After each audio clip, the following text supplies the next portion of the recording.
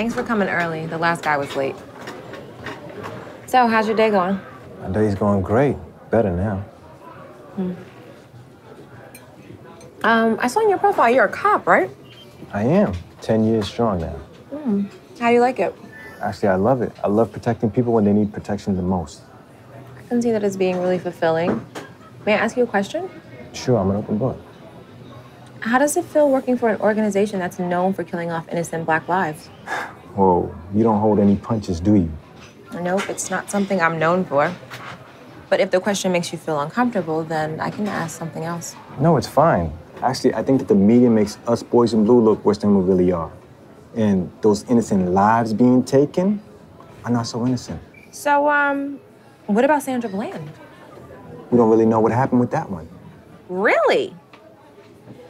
Um, Eric Gardner? If you know you have asthma, don't resist arrest. And that boy was big. So it took several cops to take him down.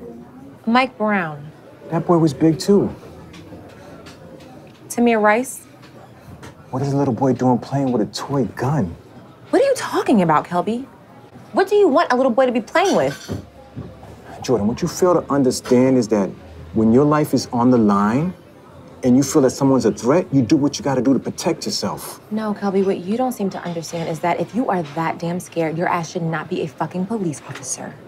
And what the hell is so scary about black people anyway? We're humans too. You should know that. Or has the blue you run around here wearing made you forget that your skin is in fact black?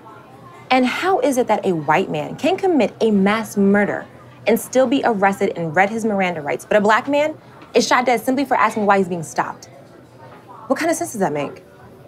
You're never gonna understand. You're right, Kelvin. I'll never understand.